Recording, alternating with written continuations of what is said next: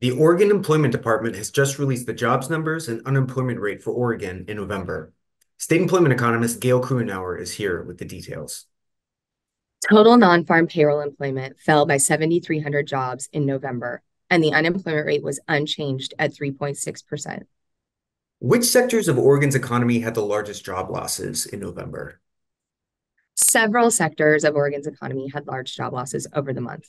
The biggest loss occurred in professional and business services, which declined by 2,900 jobs.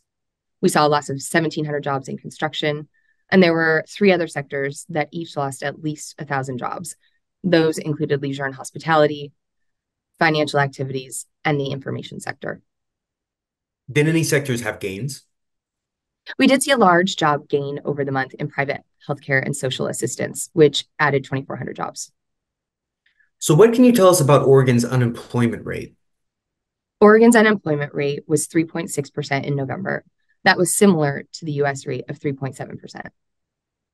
So, what's the big picture with all the November labor market numbers in Oregon? Over the past year, Oregon employers have added nearly 40,000 jobs. Most of that gain occurred in the first part of 2023, though. And although we've seen a slowdown in recent months, things seem to be generally stable, where the overall employment level in November is similar to what it was in May or June. And unemployment has remained relatively stable as well. We've been between a record low of 3.4% and 3.6% for the last handful of months. And where can we find more details about the jobs numbers and unemployment rate in November?